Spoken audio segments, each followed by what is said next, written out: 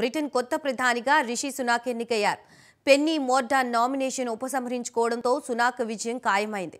ఈ నెల ఇరవై ఎనిమిదిన బ్రిటన్ ప్రధానిగా రిషి సునాక్ ప్రమాణం చేయనున్నారు. బ్రిటన్ పాలన పగ్గాలు అందుకున్న తొలి భారత సంతతి వ్యక్తిగా రిషి రికార్డు నెలకొల్పాడు.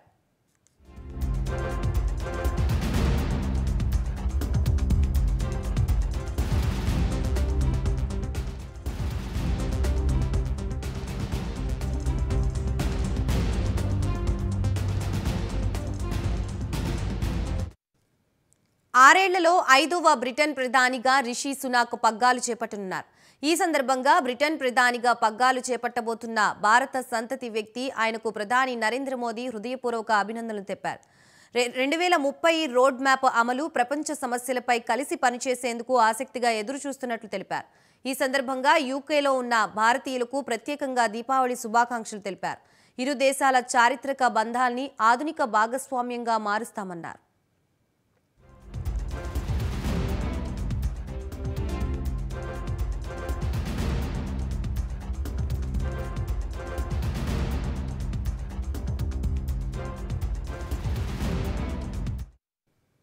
ప్రపంచవ్యాప్తంగా హిందువులు చెడుపై మంచి సాధించిన విజయానికి సంకేతంగా ఐదు రోజుల పాటు చేసుకునే దీపావళి వేడుకల వేళ రిషి సునాక్ బ్రిటన్ ప్రధానిగా విజయం సాధించారు.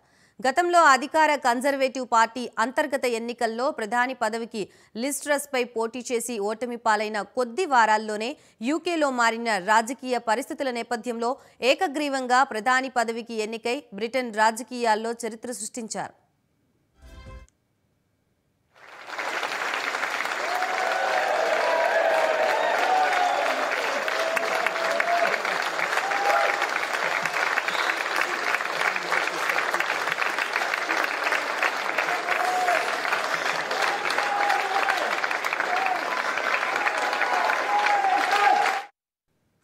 బ్రిటన్ ప్రధానిగా రిషి సునాక్ ఎన్నికైన నేపథ్యంలోనే భారత్కి చెందిన ప్రముఖ వ్యాపార దిగ్గజం ఆనంద్ మహీంద్రా స్పందిస్తూ ఓ ఆసక్తికర ట్వీట్ చేశారు. బ్రిటన్ మాజీ ప్రధాని మిన్స్టన్ చర్చిల్ గతంలో భారత్పై చేసిన వ్యాఖ్యల్ని ఉటంకిస్తూ నేడు భారత వ్యక్తులు ఏ స్థాయిలో ఉన్నారో చెప్పకనే చెప్పారు.